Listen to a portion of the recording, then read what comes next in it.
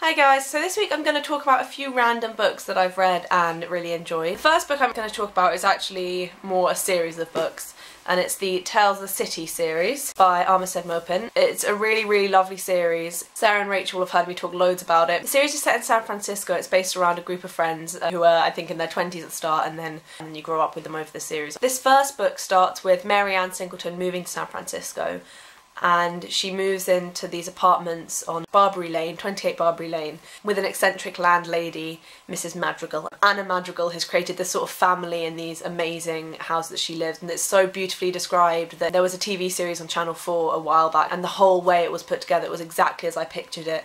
The house looked perfect, exactly as it was in my imagination. It's just so perfectly described. This really lovely San Francisco lane with flowers and steps and just I can't do it. Read the book, you'll see how perfect it is. It's just a really, really lovely book. The whole series takes you through a load of different life changes and you focus on different characters at different points in the story. So even though it starts off with Mary Ann, there are other books that focus on other different characters a bit more. Um, characters that don't seem very big in this book will then become more prominent later on. You fall in love with the characters and you really care about what happens to them. This book came out in 1978 and the final book is coming out next year so there's been about 35 years from the first to the last and it's gone more or less in real time.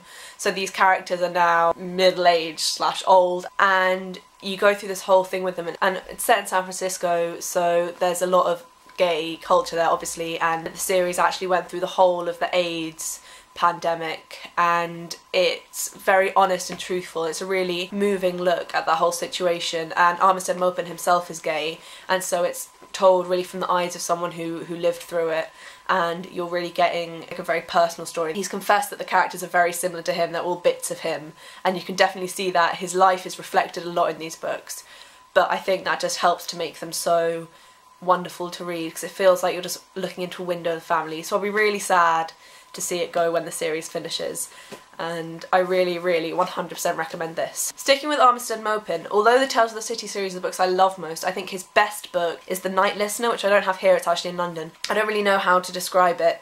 It's the story of an author. Again, the aspect of personal life is actually based, I think, on something that happened to Armistead Maupin. A kid writes a letter to him and he's had these horrible life experiences and yet he's really affected by this guy's writing. And they build up a relationship but then um, stuff happens. I don't want to give anything away, but I really, really recommend it. It's not the book I expected to read when I started reading it, and also I'd read Tales of the City before I read The Night Listener, so it it's not the same at all as Tales of the City. It's a completely different type of book. It's more of a mystery. It's you're left at the end not quite knowing what happened. I don't know if that makes sense, but you at the end you're kind of a bit clueless. You don't know what's real, you don't know what's not. I really, really recommend that book. It was a great book. Another book that I recommend that I have here with me is The Art of Fielding by Chad Harbach. Harbach. Harbach. And this book I read because John Green recommended it and as a rule if John Green recommends it I will love it. It's about a baseball player in college and other people in his college network. So it's a story of five people in this college and how kind of their lives are very intertwined. An action of this one kid affects them all in the end. Again, I don't want to give too much away, but it's basically baseball in American college. Sarah has read this already and she really liked it up to a point, but then I think she went off it a bit. My dad didn't like it, but he has a problem with books written in America. I don't know.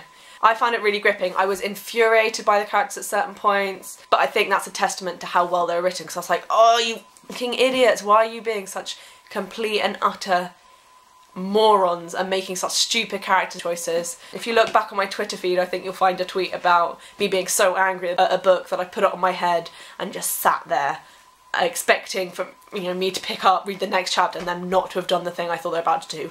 But of course they didn't listen to me even though I told them not to do it, they did it.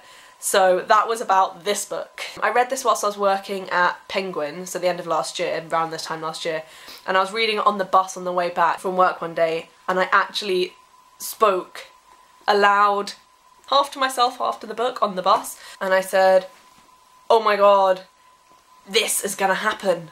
It suddenly, there was just this moment where it dawned on me what the end of the story was gonna be. So again, not giving anything away, but it I was really engaged in this book and for me that's a sign of a good book. So that's that's that one. At the moment I'm listening to Tina Fey's Bossypants audiobook, which I'm loving. But a few months ago I listened to The Art of Racing in the Rain by Garth Stein, I think his name. It sounds ridiculous, but it's a book written from the point of view of a dog but he's a sort of a philosophical dog. So even though he's a dog, he has all these ideas that are kind of beyond dogdom. He thinks that he's going to be a human when he dies, when his dog life is over, and he kind of waxes poetically on life around him. So you see a life through a dog's eyes as his owner gets married, has a child, his life goes on, all these things happen to him, and this dog has all these thoughts and feelings, and he's this guy's best friend, the guy is his best friend and yet there's only so much he can do to communicate. It was a really lovely book. I don't know whether it would be different if I were reading it as a book rather than listening to it as an audiobook, but as an audiobook it, it worked so well. This is going to sound like a really weird thing to say, but it always felt like a dog talking. There were some little touches kind of woven through that I really, really liked. How there are certain things that the dog doesn't understand, and there are certain things that the dog thinks that shows how ridiculous some things that humans think are. It's kind of like a child's outlook, but a child's outlook with wisdom, if you know what I mean. There are certain things he doesn't understand, but he understands more than we do in other ways. I really, really enjoyed it. And yeah, I think those are my book recommendations. I kind of have picked just such a random selection. So I'm sure there are things I will think about later that I should have mentioned. I maybe should just say some favourite authors now in case you have a gap in your book reading schedule and you want something to read. I love Mitch Albom, although I think he's maybe running a bit low on ideas. Tuesdays with Morrie, Five People You Meet in Heaven, I think everyone should read. Steinbeck is here in my bookshelf, I don't know if you can see that. So I really love Steinbeck, so Grapes of Wrath, East of Eden are quite hefty books, but I recommend them. F. Scott Fitzgerald I absolutely love. I would say Gatsby isn't his best. I would say read Tender Is the Night, Beautiful and the Damned. I think Tender in the Night is actually my favourite F. Scott Fitzgerald. That's probably all I can think of to say books-wise. I'm bound to get back to London and look at my shelf and see loads of books I should have talked about because books I've read most recently are probably on my shelf there. But for now, books. Done. And I will see you all next week and maybe I'll have a whole new pile of books then based on your recommendations. Okay, bye! I got the book!